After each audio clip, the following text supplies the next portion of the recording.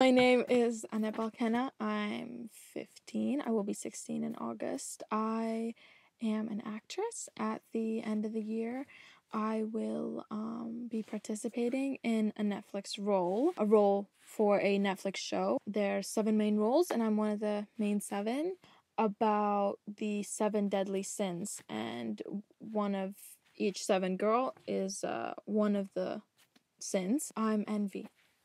So, yes, and I'm I'm actually excited to uh, film it. It seems interesting. Every single main girl, uh, I don't know if this is a spoiler. I don't think it's a spoiler. I think it's okay. Every every one of the the seven girls will kill someone in a different way, and then we all end up in a psych ward. In the uh, show where I had the British accent, my sister, my twin sister in that movie, is the girl that I'm going to kill in this movie, which I think was such a weird coincidence because when uh, we went to speak with the director, they were like, I heard that you know this girl. And I was like, oh, yes, I played her twin sister a couple years ago. And she was like, yes, like this is the girl that you will kill in this uh, in this show, which was so uh, so interesting to think about.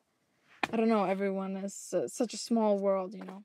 Yes. Okay. So um, I was living in Dubai and I was uh, driving. I wasn't driving, but I was in the car, and my dad was driving, and there was an ad on the radio for a acting program, and I ended up getting into the acting program, and I guess it kind of started from there. Acting program is one week, and it kind of starts with you kind of learn monologues and scenes with um, other kids, a bit older, a bit younger than you. You're put into age categories, and then you get uh, assigned a scene and you work on that scene for the rest of the week and then at the very end of the week you perform it in front of all the kids families and parents and um, agents and managers as well.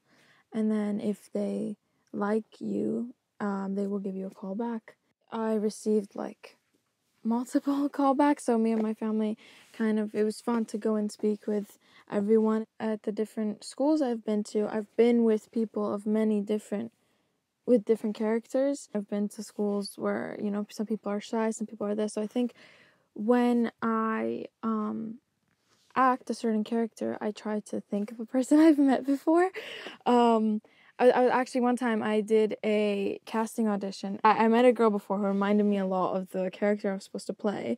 So I decided to just pretend like I was her. I kind of got a feel of what she was like and I got the I got the role. One of my biggest living like where to live goals in life is to live on uh, a farm kind of pretty far from the city.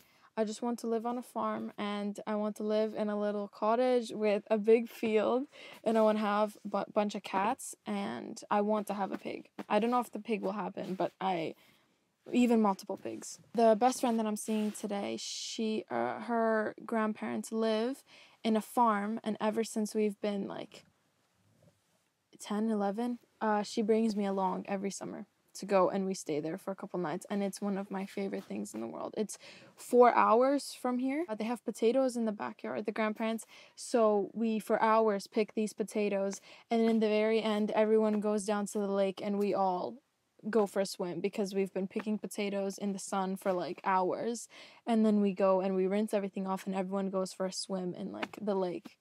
I think my whole life I've been surrounded by city a lot even now currently I'm living kind of in um the city. I live in Old Riga.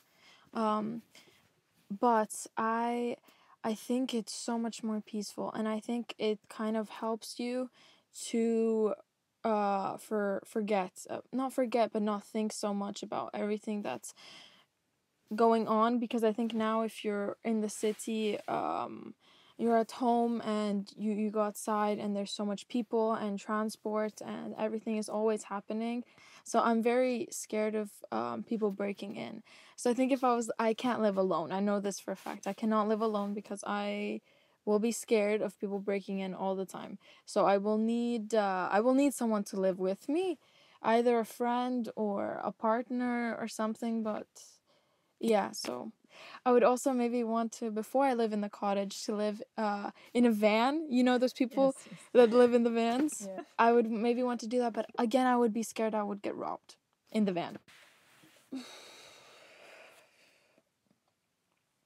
Um, is it like deeper question? Yes. Um, that's it. I'm not good enough. And then every time I even spoke to somebody, I just thought I was so stupid. Every time I spoke to someone, I just thought I'm so stupid. The stuff I'm saying is so stupid. And then I started picking on myself for very small things. Um, the way I was sitting, uh, the way I picked something up, uh, the smallest things, I was like, that's stupid. You look stupid. You look dumb while you do that. Um, and then I became very hard on myself, which uh, made it even harder. And then, of course, there is uh, school. You have to interact with people every day.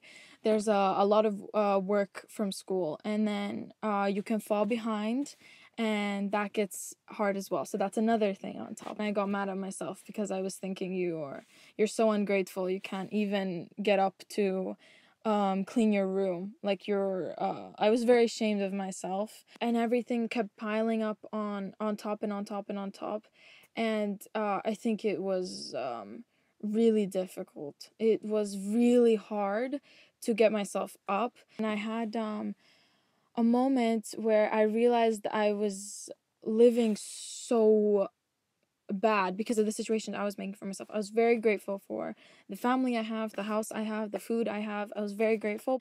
And um it was really hard, but I kind of took a moment and I realized that it was very that I deserved to live better and I deserved to treat myself better even if I didn't believe that I deserved it.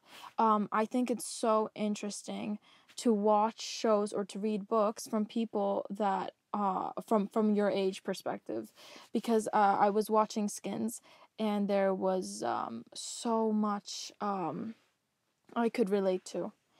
So much um and I think uh it was really uh important but it had very negative effect. So I uh, want to major in I want to continue acting but still major in criminology um because criminology is very interesting to me and it's has been for a very uh long time so I would want to balance both.